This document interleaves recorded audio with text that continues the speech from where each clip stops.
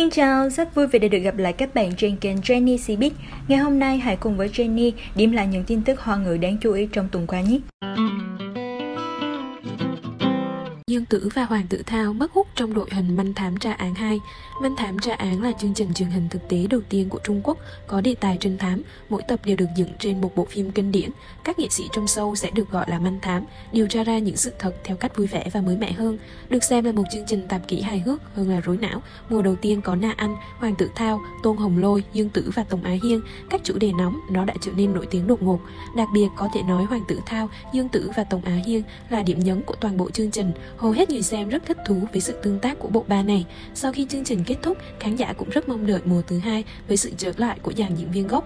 Tại sâu, man thám tra án, Dương Tử Hoàng Tử Thao đã có nhiều lần gây náo loạn màn giải trí vì tương tác kiểu không giống ai. Sự tương tác của anh và Dương Tử trong chương trình lại nhận về phản hồi vô cùng tích cực.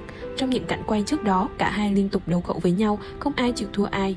Thậm chí Dương Tử còn nhiều lần đuổi theo Hoàng Tử Thao vài vòng để động chân động tay. Sự xuất hiện của họ trong manh thám tra án chính là liều thuốc vitamin cười không thể thiếu dành cho khán giả. Nhưng thực tiết chương trình manh thám tra án mùa 2 đã chính thức được công bố, nhưng đội hình đã có sự thay đổi lớn.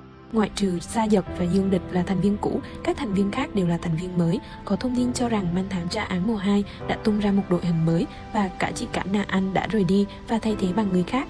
Tôn Hồng Lỗi và Tống Á Hiên thay thế bằng Trương Nghệ Hưng, Hoa Thần Vũ và Lưu Diệu Văn, trong khi Dương Tử được thay thế bởi Angela Baby, Dương Dĩnh.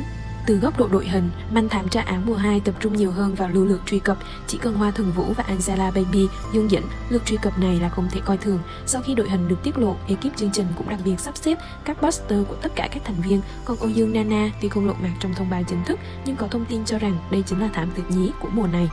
Có thể nói sự tham gia của Hoa Thường Vũ thực sự nằm ngoài dự đoán. Trong chương trình Quang nói chuyện xuyên không, lời nói của anh ấy không quá nhiều và sự đa dạng của anh ấy cũng không đủ mạnh. Vì vậy, một bộ phận khán giả tỏ ra e dè, còn nhiều fan quá khích đã không kìm được lòng.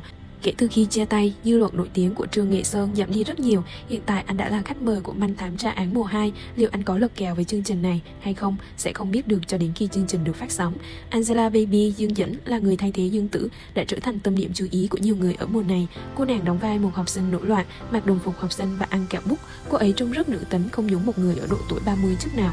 Angela Baby là một ngôi sao nổi tiếng, thành tích của cô ấy trong Running Man cũng rất tốt. Lần này Angela Baby sẽ thay thế Dương Tử trở thành khách mời thường xuyên của Manh Thám Tra Án mùa 2. Điều này khiến khán giả mong chờ. So với mùa đầu tiên, đội hình mùa này mạnh hơn và lượng truy cập rất lớn. Hiệu ứng của chương trình tạp kỹ sẽ không quá tệ. Chúng ta hãy chờ xem nhé.